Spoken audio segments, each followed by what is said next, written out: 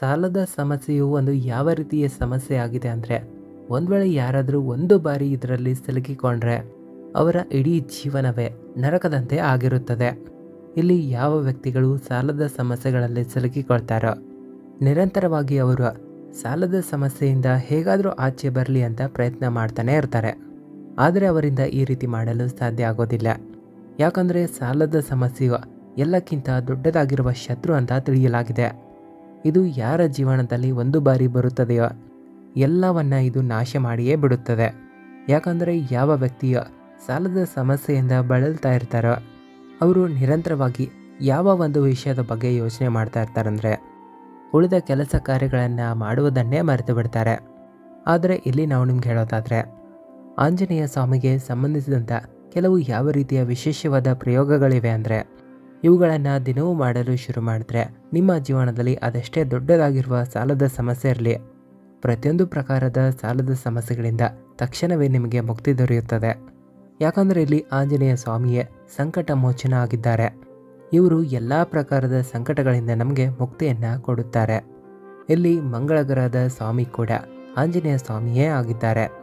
ಕೇವಲ ಮಂಗಳ ಗ್ರಹದ ದೋಷದ ಕಾರಣದಿಂದಾಗಿಯೇ ಜೀವನದಲ್ಲಿ ಸಾಲದ ಸಮಸ್ಯೆಗಳು ಬರುತ್ತವೆ. ಅಂದರೆ, ಯಾವ ವ್ಯಕ್ತಿಯಲ್ಲಿ ಮಂಗಳ ದೋಷ ಇರುತ್ತದೆಯೋ ಅಥವಾ ಮಂಗಳ ಗ್ರಹದ ಸ್ಥಿತಿ ಖರಾಬಾಗಿರುತ್ತದೆಯೋ ಖಂಡಿತವಾಗಿ ಇಂಥ ವ್ಯಕ್ತಿಗಳು ಸಾಲದ ಸಮಸ್ಯೆಗಳಲ್ಲಿ ಸಿಲುಕಿರ್ತಾರೆ ಆದರೆ ಇವುಗಳಿಂದ ಸುಲಭವಾಗಿಯೂ ಆಚೆ ಬರಬಹುದಾಗಿದೆ. ಹಾಗಾಗಿ ಈ ವಿಡಿಯೋವನ್ನು ತುಂಬಾ ಗಮನವಿಟ್ಟು ಕೇಳಿರಿ. ಎಲ್ಲಕ್ಕಿಂತ ಮೊದಲು ವಿಡಿಯೋವನ್ನು ಲೈಕ್ ಮಾಡಿ, ಭಕ್ತಿಯಿಂದ ಕಮೆಂಟ್ ಬಾಕ್ಸ್ನಲ್ಲಿ ಜೈ ಶ್ರೀರಾಮ್, ಜೈ ಹನುಮಾನ್ ಅಂತ ಬರೆಯೋದನ್ನು ಮರೆಯದಿರಿ. ಈ ಮೂಲಕ ಆಂಜನೇಯ ಸ್ವಾಮಿಯ ಆಶೀರ್ವಾದ ನಿಮಗೆ ಸಿಗಲಿ. ಈ ರೀತಿ ಹೇಳಲಾಗುತ್ತೆ.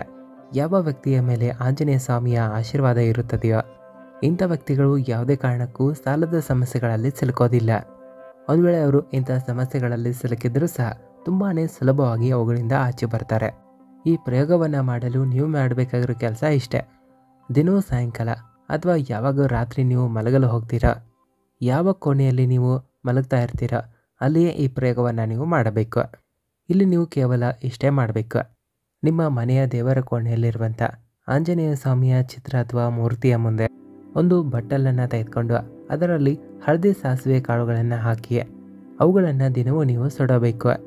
ಇವುಗಳನ್ನು ಸುಡಲು ಇಲ್ಲಿ ನೀವು ಕರ್ಪೂರದ ಸಹಾಯವನ್ನು ಪಡೆಯಬಹುದು.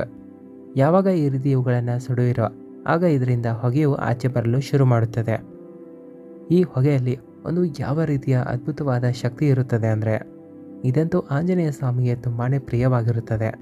ಇದೇ ಒಂದು ಕಾರಣದಿಂದ ಯಾರಿಗೆಲ್ಲ ತಾಂತ್ರಿಕ ಸಮಸ್ಯೆಗಳಿರುತ್ತವೆಯೋ, ಭೂತ ಪ್ರೇತಗಳ ಸಮಸ್ಯೆಗಳಿರುತ್ತವೆಯೋ, ಈ ಪ್ರಯೋಗವನ್ನು ಸತ ನೀವು ಸಹ ಮಾಡಿ ನೋಡಬಹುದು. ಯಾವಾಗ ಯಾವುದಾದ್ರೂ ವ್ಯಕ್ತಿಗೆ ಭೂತ ಪ್ರೇತಗಳು ಹೆಚ್ಚಾಗಿ ಕಾಟ ಕೊಡುತ್ತವೆಯೋ ಒಂದು ವೇಳೆ ಆ ವ್ಯಕ್ತಿಯ ಮೇಲೆ ತಾಂತ್ರಿಕ ಕ್ರಿಯೆಗಳೇನಾದರೂ ಆಗಿದ್ದರೆ ಒಂದು ವೇಳೆ ಆಂಜನೇಯ ಸ್ವಾಮಿಗೆ ನೀವೇನಾದರೂ ಹಳದಿ ಸಾಸಿವೆ ಕಾಳುಗಳ ಹೊಗೆಯನ್ನು ನೀಡಿದ್ರೆ ಒಂದು ವೇಳೆ ಆ ಹೊಗೆ ಏನಾದರೂ ನಿಮ್ಮ ಮನೆಯ ಸುತ್ತಲೆಲ್ಲ ಓಡಾಡಿದ್ರೆ, ಇದರಿಂದ ಎಲ್ಲ ಪ್ರಕಾರದ ತಂತ್ರ ತೊಂದರೆಗಳು ತಕ್ಷಣವೇ ದೂರ ಆಗುತ್ತವೆ. ಬದಲಿಗೆ ಭೂತ ಪ್ರೇತಗಳೇನಾದರೂ ನಿಮಗೆ ಹೆಚ್ಚಾಗಿ ಕಾಟ ಕೊಡ್ತಾ ಇದ್ದರೆ ಅವೆಲ್ಲವೂ ಇದರ ಹೊಗೆಯಿಂದ ತಕ್ಷಣವೇ ಹೆದರಿಕೊಂಡು ಓಡಿ ಹೋಗುತ್ತವೆ. ಒಂದು ವೇಳೆ ನಿಮಗೆ ಗೊತ್ತಿರೋರಿಗೆ ಅಥವಾ ನಿಮ್ಮ ಮನೆಯಲ್ಲಿ ಯಾರಿಗಾದರೂ ಇಂಥ ಸಮಸ್ಯೆ ಇದ್ದರೆ ಖಂಡಿತವಾಗಿ ಈ ಪ್ರಯೋಗವನ್ನು ಮಾಡಿ ನೀವೇ ನೋಡಿರಿ. ಇದರ ಲಾಭಗಳು ನಿಮಗೆ ತಕ್ಷಣವೇ ನೋಡಲು ಸಿಗುತ್ತವೆ. ಒಂದು ವೇಳೆ ಆಂಜನೇಯ ಸ್ವಾಮಿಗೆ ಸಾಯಂಕಾಲದ ವೇಳೆ ಹಳದಿ ಸಾಸಿವೆ ಕಾಳುಗಳ ಹೊಗೆಯನ್ನು ನೀಡಿದ್ರೆ ಇಲ್ಲಿ ಸಾಲದ ಸಮಸ್ಯೆಗಳು ಇರೋದಿಲ್ಲ.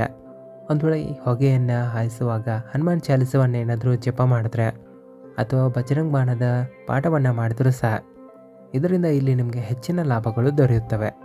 ಬದಲಿಗೆ ಹನುಮಾನ್ ಚಾಲಿಸದ ಶಕ್ತಿ ಯಾವ ರೀತಿ ಇರುತ್ತದೆ ಅಂದರೆ ಇದರ ಶಕ್ತಿಯು ಹಳದಿ ಸಾಸಿವೆ ಕಾಳುಗಳ ಹೊಗೆಯಿಂದ ಇನ್ನಷ್ಟು ಹೆಚ್ಚಾಗುತ್ತದೆ.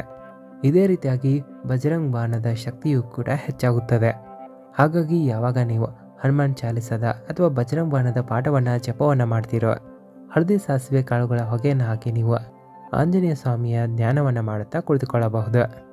ಈ ರೀತಿ ಮಾಡೋದ್ರಿಂದ ಸಾಲದ ಸಮಸ್ಯೆಗಳಿಂದ ನಿಮಗೆ ತಕ್ಷಣವೇ ಮುಕ್ತಿ ದೊರೆಯುತ್ತದೆ. ಒಂದು ವೇಳೆ ನಿಮಗೆ ಏನಾದರೂ ಹೆಚ್ಚಿನ ತಲೆನೋವು ಕಾಡ್ತಾ ಇದ್ದರೆ ಯಾಕಂದರೆ ಯಾವ ವ್ಯಕ್ತಿಯ ಜೀವನದಲ್ಲಿ ಮಂಗಳ ಗ್ರಹದ ದೋಷ ಇರುತ್ತದೆಯೋ, ಯಾವತ್ತಿಗೂ ಅವರ ತಲೆಯಲ್ಲಿ ನೋವು ಕಾಡ್ತಾ ಇರುತ್ತೆ.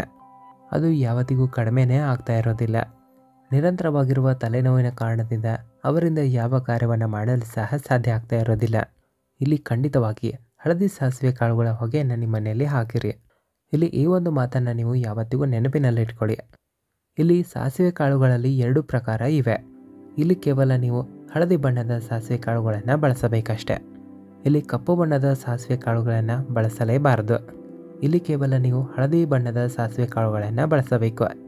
ದಿನವೂ ಸಾಯಂಕಾಲ ನೀವು ಯಾವ ದಿನದಿಂದ ಬೇಕಾದರೂ ಈ ಪ್ರಯೋಗವನ್ನು ಪ್ರಾರಂಭಿಸಬಹುದಾಗಿದೆ.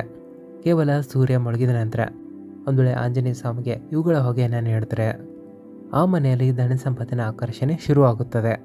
ಇಲ್ಲಿ ಸಾಲ ಮುಕ್ತಿಯ ಎಲ್ಲ ಯೋಗಗಳು ಬರುತ್ತವೆ. ಇಲ್ಲಿ ನಿಮ್ಮ ಜೀವನದಲ್ಲಿ ಅದೆಷ್ಟೇ ದೊಡ್ಡದಾಗಿರುವ ಸಾಲದ ಸಮಸ್ಯೆಗಳಿರಲಿ. ಒಂದು ವೇಳೆ ನೀವು ಅವುಗಳಿಂದ ಮುಕ್ತಿ ಪಡೆಯಲು ಇಷ್ಟಪಡ್ತಾ ಇದ್ದರೆ ಸಾಯಂಕಾಲದ ವೇಳೆ ಸೂರ್ಯ ಮುಳುಗಿದ ನಂತರ ಹಳದಿ ಬಣ್ಣದ ಸಾಸಿವೆ ಕಾಳುಗಳ ಹೊಗೆಯನ್ನು ನೀವು ಆಂಜನೇಯ ಸ್ವಾಮಿಯ ಮುಂದೆ ಹಾಕಬೇಕು.